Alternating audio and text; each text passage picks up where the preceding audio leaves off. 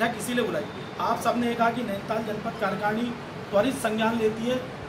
त्वरित संज्ञान क्या लेती है? अब तक तो हमें लग रहा था कि यहाँ से होगा, वहाँ से होगा, ऐसा होगा, वैसा होगा, वोट से होगा, विरोध से होगा।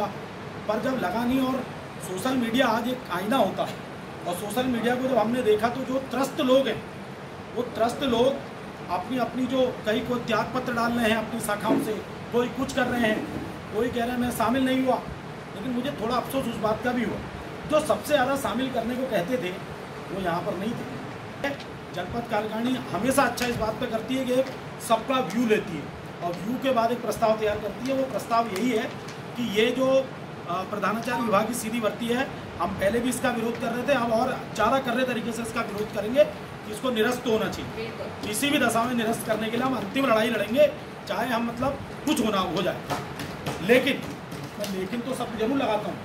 लेकिन शब्द इसलिए लगाना ज़रूरी है कि चीज़ें हमने कह दी यहाँ पर। और नहीं हुआ क्योंकि हम इतने सक्षम यहाँ पर से नहीं है कि हम उसको निरस्त करवा दें। जो सक्षम है, उस, उनके ऊपर दबाव समूह के रूप में कार्य करना हमारा काम है। हम वो काम करेंगे निश्चित तौर पर ईमानदारी से। परंतु बाई चांस नहीं हुआ। फिर क्या करेंगे? तो उसके लिए हमें बात समझ में आई कि यहाँ पर हमें उच्च न्यायालय नहीं जाना है।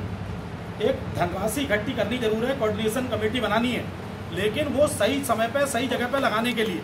वो क्या है कि तीन याचिकाएँ अभी कम से कम जो संज्ञान में आई है, वो लगी हुई है। ऑलरेडी एल की, जगदीश पांडे जी की, इनकी, वीरेंद्र जी की, और वो क्या नाम कहते हैं, जगदीश बीच जी की याचिकाओं में भी दो पॉइंट शामिल है। तो फिर ज़बरदस्ती वहाँ याचिका क्यों लगाई जाए? उन याचिकाओं को देखा जाए, उनको, उनका अध्ययन किया जाए, मज़बूत किया जाए। पहली बात तो यही काम करना है। दूसरी बात है, अपनी कोऑर्डिनेशन कमेटी जो अभी अनाउंस कर, की गई है, उसको, उसके साथ में व्हाट्सएप का ग्रुप बना करके अगर नहीं भी मिले तो व्हाट्सएप के माध्यम से उसमें ज़रूरी कागजात डाल के डिस्कशन रोज का रोज किया जाए कि ताकि जो सुप्रीम कोर्ट की बात हो रही कि अगर यहाँ वाले हो सकता है कि यहाँ के अधीन है, पर वहाँ वाले थोड़ी होंगे। हो सकता है कि अगर यहाँ याचिकाएँ खारिज हुई और यहाँ से जो भी लोग जाते हैं, चाहे वो एल संघर्ष समिति है, चाहे ये जो खारिज हुई है रविशंकर जी या इनकी याचिकाएँ हैं, चाहे मतलब उन्हीं में से कोई हम ही लोग मिलकर के उस याचिका को लेके जाएँ तो ऐसी स्थिति में एक तगड़ी फंडिंग की ज़रूरत है, जो तीन, चार, पाँच जगहों पर इकट्ठा हो रहा होगा। उसको रोकने के लिए कि उसको वहाँ भी रोका जाए। ये चीज़ ऐसी हो सकती है।